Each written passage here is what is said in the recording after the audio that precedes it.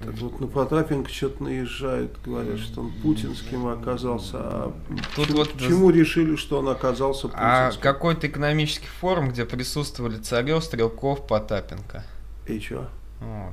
То есть, и это первый момент, а второй, что, ну, правое дело это полностью. Ну, правое дело, да, полностью контролируемая Кре- Кремлем структура. Ну, что ж, человек выбрал такой путь.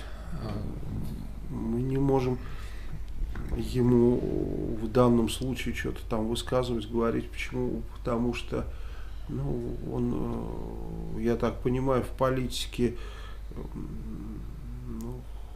ну, ну, э, финансами занимался, он бизнесмен, да, то есть политикой он не занимался. Ну, должен, может быть, набить шишки какие-то, чтобы понять.